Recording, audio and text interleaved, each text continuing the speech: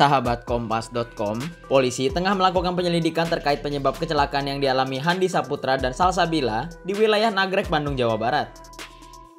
Kabit Humas Polda Jawa Barat AKBP RD Acaniago menyebut, Polresta Bandung terus berkoordinasi dengan Polda Jawa Tengah terkait kasus kecelakaan tersebut. Sebelum jasadnya ditemukan di Cilacap dan Banyumas, Jawa Tengah, sejoli ini diketahui mengalami kecelakaan di wilayah Nagrek, Kabupaten Bandung. Lalu pada Sabtu 11 Desember 2021, mayat Handi dan Salsabila ditemukan di aliran Sungai Serayu. Handi ditemukan di Desa Banjarparakan, Kecamatan Rawolo, Kabupaten Banyumas, sedangkan Salsabila ditemukan di Desa Bunton, Kecamatan Adipala, Kabupaten Cilacap. RD menyebut, saat ini kerjasama lintas daerah pun dilakukan Polda Jawa Barat dengan Direskrimum Polda Jawa Tengah terkait penemuan mayat korban. Meski begitu, polisi sudah mengantongi ciri-ciri pelaku dan saat ini sedang mengumpulkan sejumlah petunjuk dan barang bukti.